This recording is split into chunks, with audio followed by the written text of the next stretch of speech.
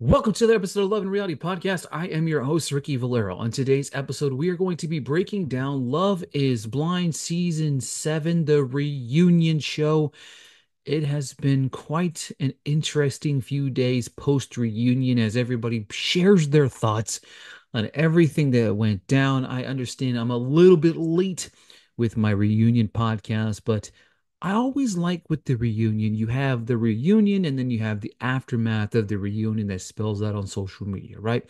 We know and we're aware that this reunion was shot on October the 13th. So there's a amount of things that happened between October the 13th and when this aired on October the 30th, right? So a lot of things have happened and then there's a lot of things that spill out into the united you know into the world of love is blind after that you know what i mean? So that's what this podcast this week's going to be about. I'm going to share some thoughts on the reunion but i'm also going to share some things that i've found on the internet that i find interesting whether it's we have some couples that uh, we have new sing- newly singles that are no longer on the market anymore including two heavily active people on this season of Love is Blind. And then on top of that, we had a conversation with uh, a conversation happened with Chris Coelen, obviously the creator of Love is Blind, who talked about a lot of what went down in this season and dropped a little bit of tea on what that is. And then, of course, we found out about two more couples who were cut from this season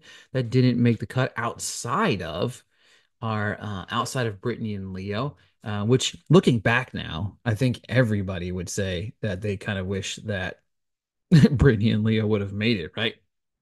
So before we jump in, before we jump in, two more couples actually got together during their pods, but their scenes were eventually cut.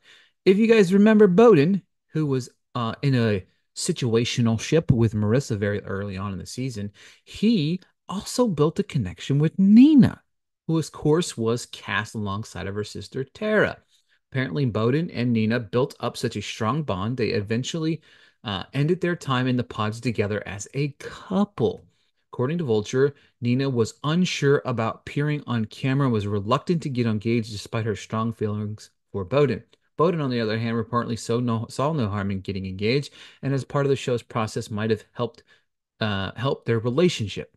The two went back and forth uh, in the sitch, throughout their time in the pods, but ultimately decided to leave together, just not engaged. Um, uh, also, that Nina's sister, Tara, formed a connection in the pods as well, even similar, leaving with her partner without getting engaged. That said, both Nina and Tara's Instagram accounts, the sisters don't be appear to be with their love is blind partners anymore. Obviously, it's not common, not uncommon for other people to have their relationships. And of course, Chris Coelen had reportedly in the past said they only have the budget to follow five couples. Sometimes we stretch it to six, and we have to figure out how to stack the crew. The crews makes plenty of sense of whenever you're really trying to do it. Uh, explain the workout to which couples seem the most authentic and therefore have the biggest likelihood of saying "I do" at the altar, which choosing whose journey to follow for the rest of the season. So it's definitely interesting to know that Bowden and um, Nina were in a relationship. But the strong theme, I think, of the show continues to be is how are these individuals continuously going on the show with the expectations of not knowing what the process entails? The process is hey, you get to know one another, and then you get engaged, and then you go through the process. So, unsure about appearing on camera, I was reluctant to get engaged despite her strong feelings for Bowden that confuses me. Why did you go on the show and why did you waste the opportunity of somebody else to go on the show? There's a lot of vetting process, a lot of people that get turned away from this this experiment. So why are we continuously wasting our time with people that don't want to be fully invested in the experiment? It's something that I'm very very confused about. But nonetheless, um let's see here. Also, um, before we dive into the reunion here, um, Chris Coelen discusses the Ashley and Tyler uh, relationship, a viewer's reaction to the other couples going into Wednesday night reunion special. Um, they talked about, let's see here. The timing of the co- uh, the election was coincidental. Um, let's see here, blah blah blah. I do reunion special. Let's see here. Going through the process, tricky moments were teased in the trailer. Um, like Nick proclaiming wanted to be the famous person. We'll talk about that stuff in a little bit. Over the seasons, we've given back uh, over the seasons, audience have given feedback that hosts Nick and Vanessa can be too light on some of the participants or that aren't account are held accountable for their actions. How do you approach the reunion specials? There, there, there, are different kinds of reunions. There are some reunions, a certain kinds of unscripted show that are very much just about the drama. I think that our reunions are very mixed. There's an opportunity to close up loose ends, but there's also very much a celebratory feel. We witness people aspire to these incredibles. Uh, we want people to aspire uh, to these incredible and very relatable goals of finding someone to spend the rest of their life with and the people. And some people, in some cases, have found that. I think it's certainly worth celebrating. I think even the people who didn't necessarily find that, but yet found something something that they can take away from it that's transformed them in ways that is also worth celebrating. I also really enjoy the fact that of as of last season's reunion, we continue with this season reunion to bring back some participants from previous shows. That's a real treat for me, and I think that is for the fans as well. In terms of Vic, Nick, and Vanessa, I think you're going to make. I think you're never going to make everyone happy. Blah blah blah. Uh, yeah, I'm not going to read all of this nonsense to you guys here. Let's see here. Tyler choosing not to disclose his children until late in the season has brought up a lot of questions about the vetting process. What can you share about the vetting participants on Love is Blind? A couple things. One thing is we have a very rigid vetting process. We have background checks, psychological evaluations. Everyone in the world has a story, and we aren't the police, which we don't relegate, uh, regulate or monitor their conversations, whether being filmed or not. By the way, we're not dictating to them what they should talk about, what they shouldn't talk about. Now, there's been rumors in the past that that's not necessarily true, but nonetheless, if someone has children or doesn't have children, that doesn't preclude them from participating in the process. Well, duh if someone had a bad relationship with their mother or someone's had a certain sexual experience in the past is or someone is in debt all of those things are very common for vast majority of people everyone has stuff everyone's lived life and our job is not to make sure that everyone's talking about everything our job is to provide them the form that have they wish to use blah blah blah blah the difference is is we're talking about kids you know what i mean you know it, it's it's kind of crazy uh, number two i think it's important to say that we don't film 24 7 which whatever uh, so that's really the question best posed to Ashley and Tyler. What do they think? How do they feel? And that's something you'll see in the reunion, which whatever. Um, Tyler and Ashley don't have an obligation to Joey from Instagram. They just don't. And Joey from Instagram, I'm glad Joey has an opinion, but that doesn't really make a difference to whether Tyler and Ashley have worked through some things or not in the way that makes sense. I mean, whatever, man. Um, let's see if there's any good questions here. Do do do do do do do do do do do. Liam Brittany, blah blah blah blah blah blah. That's more of this. Uh... Also, one big thing takeaway from it in seasons one through four, there were after the altar specials. Are there plans for two to continue that? He says no, not interested in doing that. He said, why not? It sounds fun to catch up, and that's one of the reasons why the re- with the reunion now, it's fun to catch up and see where some of your favorites have been when you get into the after the altar structure, it becomes more like a docu series. And a docu series, as many people know, are really driven by drama. And after and and to go into an after the altar with Britt and Tiffany and Zach and Bliss or whoever, where there's going to be a drama, it doesn't feel real. It feels like at some point you're making something that's kind of not the sake of making it. I don't disagree with that. I mean, you know, I, I don't really care for the altar reunion things unless the people aren't together anymore. And then it's like, you know, hey, good luck, whatever. Uh, but yeah, that's definitely interesting to understand that. And then, of course, um, going into the reunion, um, there's a lot that was said about the reunion and good, bad, or indifferent. I took some notes like I always do as I was watching it. I'm going to skim through those here with you guys. Um, as I'm sure a lot of you have already watched the reunion very early on. Um, so many jokes, so many bad jokes by Nick. Like that was the reoccurring thing with Nick Lachey early on in this show. Joke after joke after pun after pun after pun. Like it was just, we got to work out the kinks joke from Nick already within 30 seconds of the show starting. Mama Fong was in the house, which I was very, very excited about. Love Mama Fong. Uh, Garrett and Taylor, and now Nick with his terrible Taylor Swift puns. And then we get a photos of Taylor and Garrett fishing together, which is very, very, very adorable. Um, photos from the fishing trip with Tyler, Garrett, and Tim. Pretty cool.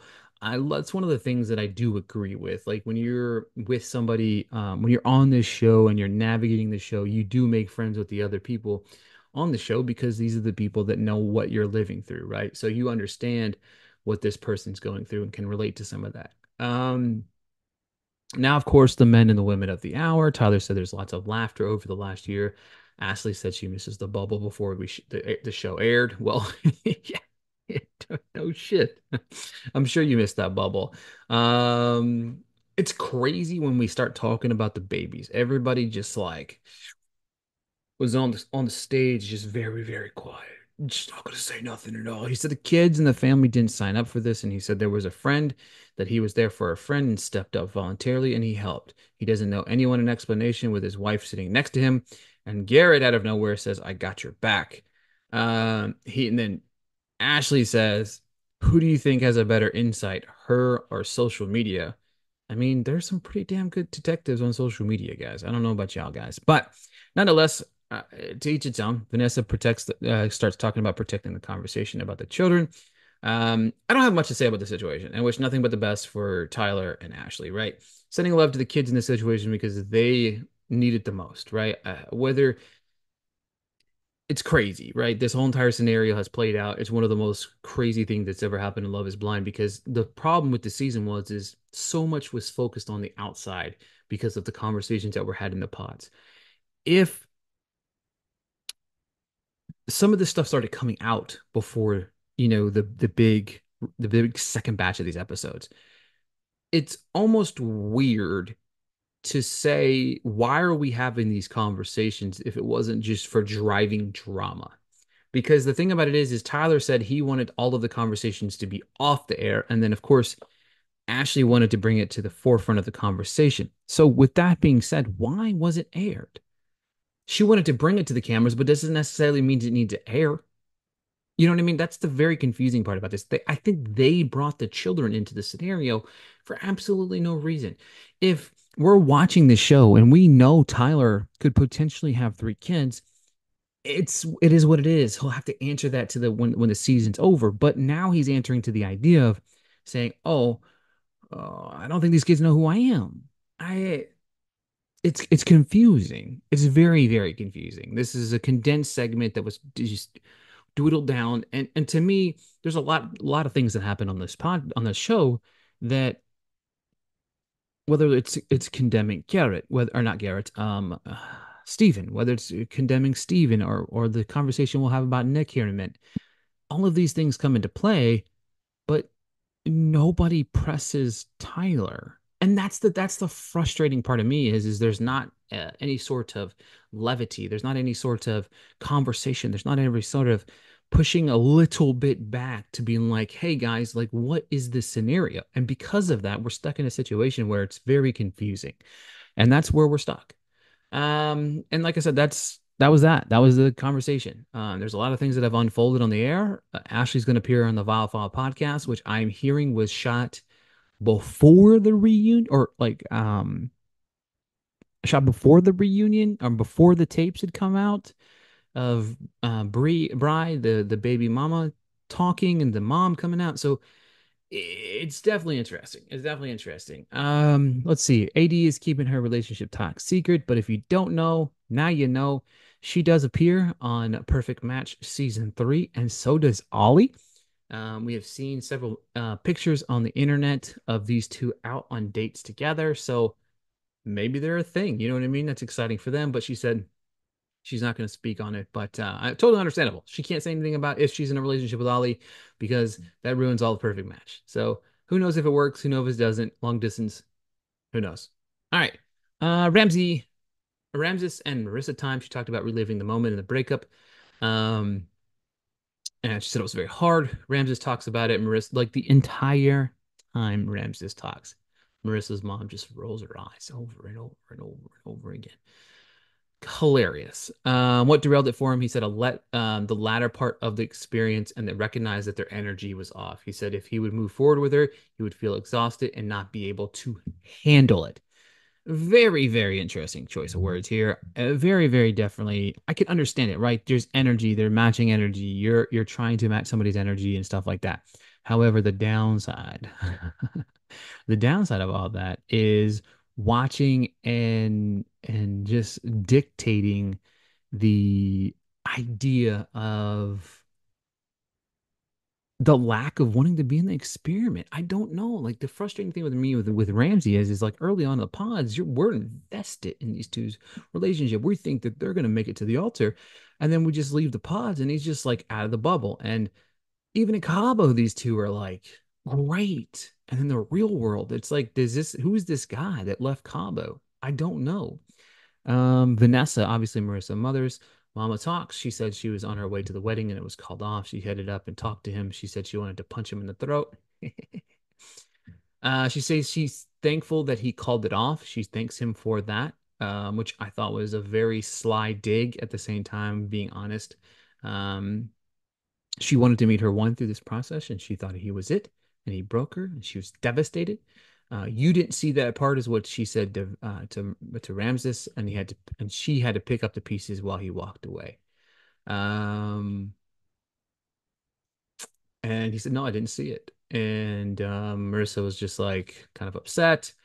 And then Nick Lachey said she's beautiful and her energy is beautiful um, the only thing Ramses really says, even though he looked like he was miserable the entire time, it looks like a man that has taken it on the chin over and over and over and over again. Um, wasn't really pressed either. Was very confused why he wasn't pressed on this podcast or on this uh, reunion. Another person that had a lot to answer to. The only thing that he does is he talks about the clearing up of the contraception, and he never pushed her to force things upon her. Now, the thing about it is, is no, whatever the contraception and whatever, he did kind of push the sex stuff. So at the end of the day, it is what it is. Plus side is inserting a note here about Marissa. She did hard launch herself a little man on Instagram. It's you can head on over to Instagram and check it out on her page. But congratulations to her. Very, very happy for her and very happy that she uh you know, found somebody that uh, can match that energy she's got. Uh, Zach and Bliss are talking about the baby. Vanessa talking about the baby. She's very happy. Let me be honest with you guys. I know Chris Coelen has came out and said that he's oh man, he's so excited that we can bring our past couples here and catch up with them. No, we don't. We don't need that. We don't need that at all. Like if you want to put them in the audience, give them like 30 second clip of saying, Hey guys, how are you? Boom, boom, boom, boom, boom, boom, boom. Done so. That's it. That's all we need. Period. End of story. That's all.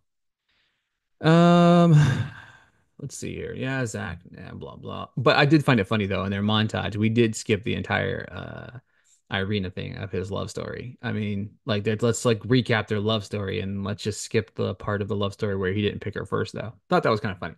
All right. Um here we are. Hannah and Nick time. She talks about her personality being very blunt and ends up sounding like a bitch. She said, I'm a weird and need to chill sometimes. Garrett stands up for him and for his patience. Hannah said she has a big personality. Um, Marshall's reactions throughout this entire episode, I would love to repeat and have Marshall return at every single uh, reunion because his reactions are worth the price of admission. Uh, she says she's direct. That's who she is. She's like, I'm a bitch sometimes. I get it. And then I love AD said she's standing out 10 toes because she respects it. Mentions she looks great, which is true. Hannah looks fire. The glow up looks amazing. She does apologize to him. Now, I've seen in several different interviews where Hannah has consistently stood up and said, you know what? I am a bitch. I acted like a bitch. I was hard on him. Yeah, she does follow up sometimes by saying, oh man, um, I don't know why let me treat him like that, which uh, you take and you give, I guess, with Hannah sometimes. But the thing about it is, is uh, Nick says to stand up and sa- stands up and says the hate online that Hannah is getting is not very good. However, Hannah calls him out for liking the mean comments on social media, which is a double-edged sword on both sides of the fence. Um, she talks about how she calls out his workbook, which was two weeks before the pods, where he said he wanted to sell two homes, the best shape of his life, and potentially be the most famous person in Love Is Blind history. He did say that he writes 90 day goals. And he said that was before he even knew he was going to 100% be on the show. He said he was super genuine and everyone would have have his back minus her. And then Marissa says, well, not me. She said it was a slap in the face for, um, for the writing that down. Hannah brings up he called her a bunch of names behind her back and he called her a grenade and ugly. Marissa said that she said that's the things that she was hearing. Nick said we Nick said we can fact check it and it didn't happen. Insert another Marshall look. He said he never brought up Hannah's looks, and Marissa says, You're really not going to say it. Monica said, You look, uh, you acted like a grenade. Nick asked Stephen, he says, I don't want you to break bro code, but did you actually, did she, did he actually say that? And then Nick, uh, Stefan said, Yeah. And he just like mic dropped it. And then Monica said she understands why she felt the way she did. Garrett says the conversation is immature. Marissa, Marissa said Hannah was a bitch to Nick and has room to grow. Again, that's the point here. The hate isn't fair. She said that that's the my biggest point here. And I know everybody was like, "Oh, Ricky, why did you make that video about we need to be team Hannah?" I'm not saying we need to be team Hannah. I'm just saying we got to apologize a little bit because if you think about it at the end of the day, if you're persistently being called ugly behind my back, I'm gonna feel a certain type of way. You know what I mean? And you're gonna you're gonna project pro- project that, and it's not gonna be nice. You know what I mean? Um, and then she calls out Ramses and said, "You're just gonna sit there and be quiet." Um, Alex said it's baffling and said Nick didn't like what Hannah looked like and own it. Uh, Ramses said, "If there's any moment to take accountability, it's right now. Let's keep it 100." Um, they're both wrong, period. Again, I think Anna's owed a little bit of apology for how she's acted, but looking at this looking at this show, nobody was ever going to feel empathy towards Hannah. My big problem and everybody else's biggest problem with this entire thing is is Marissa felt a type of certain way. She pushed towards um, Nick, Nick, and uh, Nick only. And that was, I think, a lot of people's problems because, again, we have this cloud hanging over Tyler's head we have this entire situation with Ramsey. And the thing about it is, at the end of the day, I know you guys don't, I don't know if you guys know this, but this thing was filmed over five or six hours. So we get five or six hours of editing, five or six hours of filming, and then about an hour, an hour and 25 minutes of what we got of that. So there's a lot of context missing. I know a lot of what went down, I know a lot of what was edited, but it's crazy to me to sit here and think about this and not understand why there's a little bit of hostility towards individuals that kind of push towards Nick. I get it. But Nick and Hannah are both wrong. I hope nothing but the best for best for both of them because they both deserve it. All right, Katie is in the house looking like a fan wan. Said she didn't.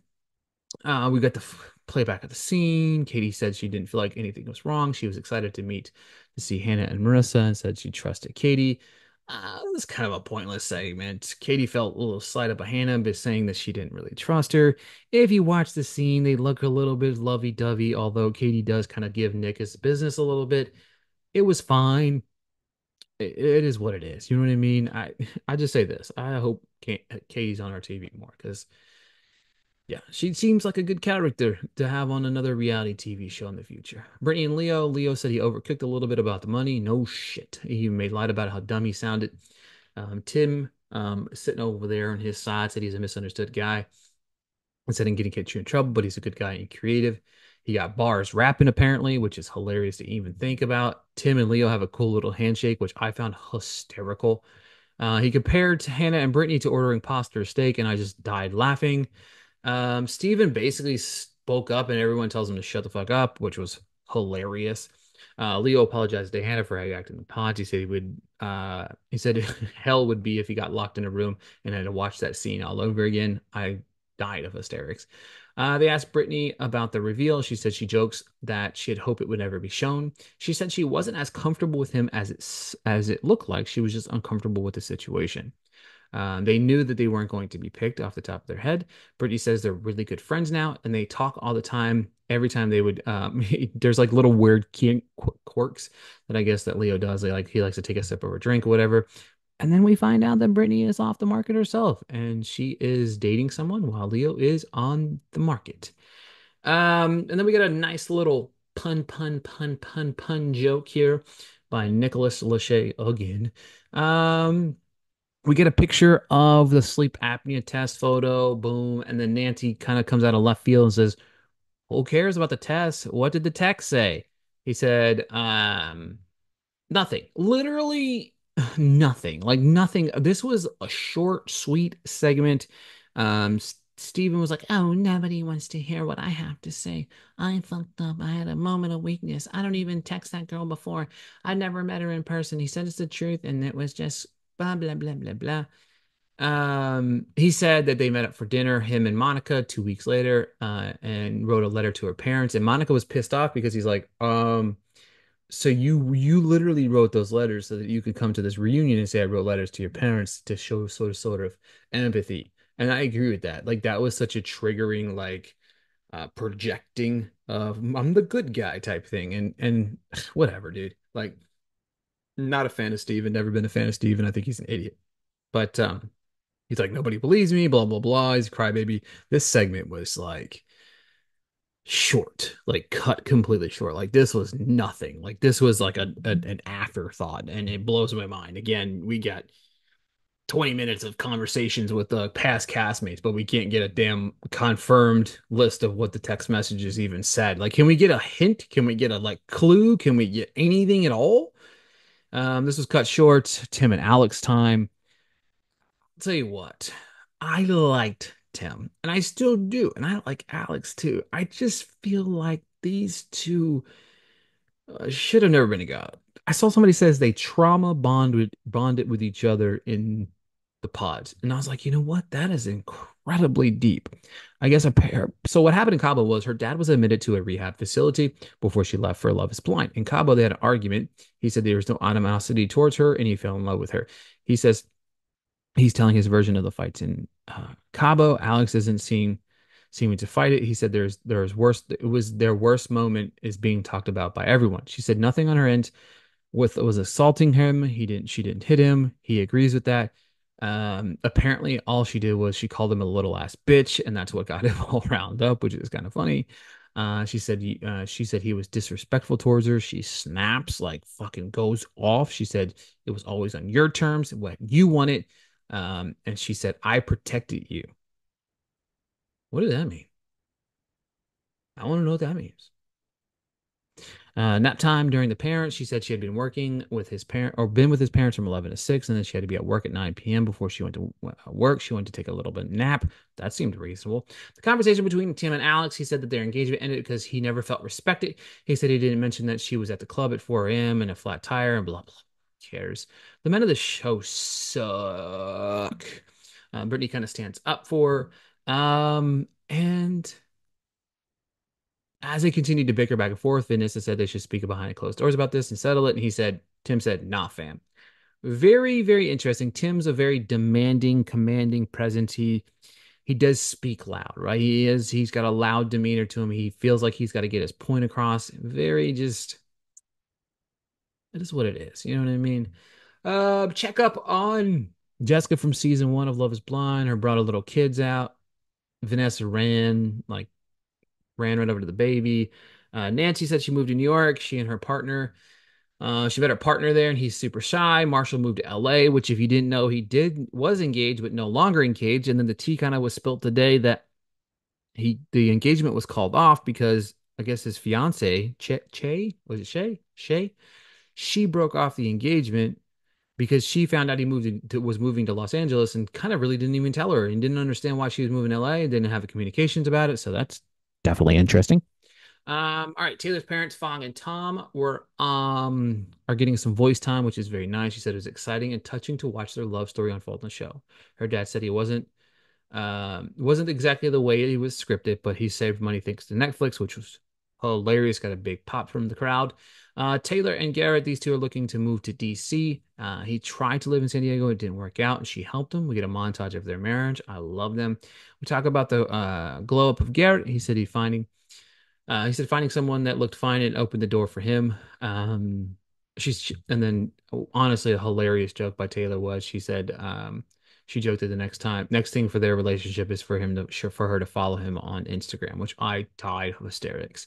Um, and then the show ended with us getting a uh, season eight is going to be in Minneapolis, the fifth year anniversary of Love Is Blind, and it's going to be season eight in Minneapolis. We had three members of the cast in the uh, in the audience, which was so definitely an interesting choice for them to do that. One thing I will say is, could they be showing us three people that didn't even get engaged? Because I find that I would think that would be hilarious to me. But nonetheless, that is my thoughts on the Love Is Blind reunion.